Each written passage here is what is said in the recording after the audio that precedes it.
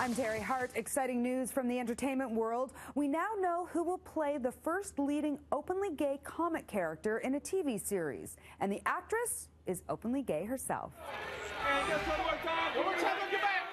Orange is the New Black star Ruby Rose will be suiting up for the role of Batwoman on the CW network.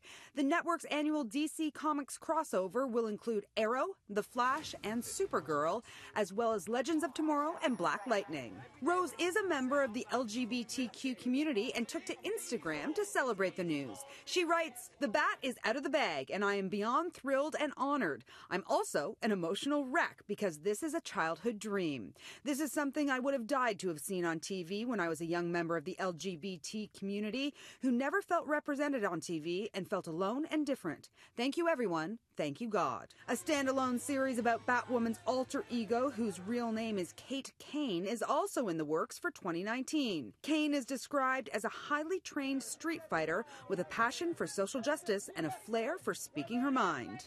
You can expect Ruby Rose to make her debut as Batwoman on CW in December.